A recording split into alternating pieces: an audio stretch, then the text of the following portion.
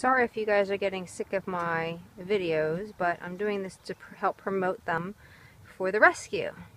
Because every one they sell, we get 10% to the rescue. So here we go again.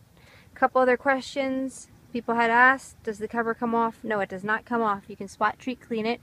But my guys have been hiking in their beds for probably four days now. We swim and we go in mud and this animal pattern does not show the dirt.